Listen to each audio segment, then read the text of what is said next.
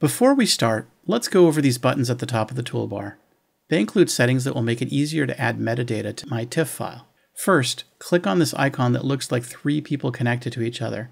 This is the Relationship Manager, and it allows you to predefine relationships that you have so that later when you use natural language tagging, you can use familial words like mom and dad to describe people in your photos, and then QromaFlip will automatically add their full names to the photo metadata. The way QromaFlip knows about your family is through what we call relationship sentences, and I've started one for myself right here. The way the Relationship Manager works is by mapping a noun or nouns to one or more full names. So, for example, I have mapped the words I and me to my full name, and I've separated them with an equal sign. Notice that I separated the multiple nouns with a comma.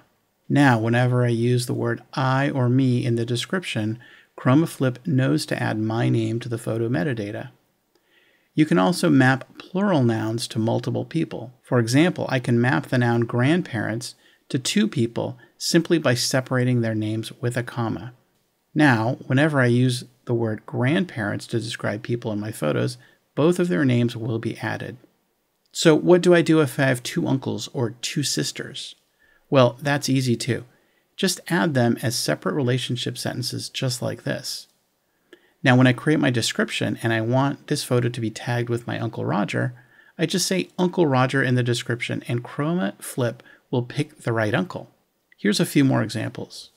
Once you're done writing these simple relationship sentences, make sure to tap the Save button to store them inside QromaFlip.